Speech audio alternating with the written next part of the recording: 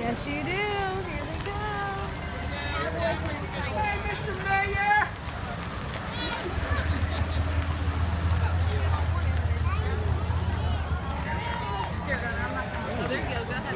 About right in front of us, man. Hey,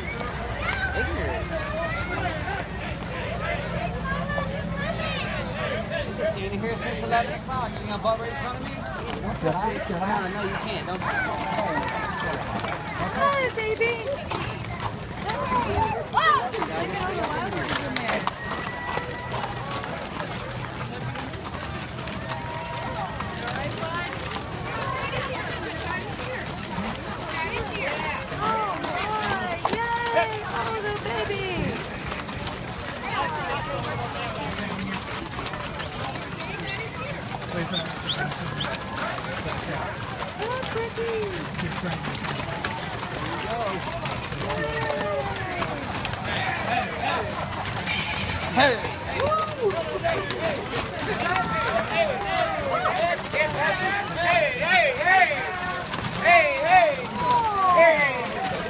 Hey!